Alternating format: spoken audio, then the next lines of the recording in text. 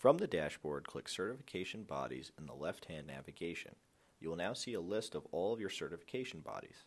If the activation status is indicated as inactive, you are able to change the certification body information. To edit the certification body details, click the View button. You can see if an activation email has been sent and the date it was sent. You can edit the certification body, accreditation body status, the certification body logo, economy, and certification body information.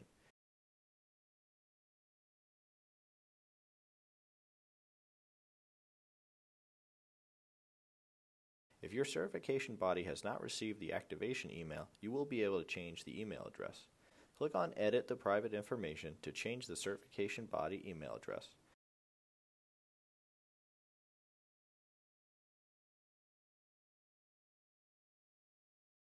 To save, click Save Changes below. Your changes have now been saved. To send the activation email to the newly entered email address, you have two options. You can click Send Activation Email on the top or copy the link and send it manually.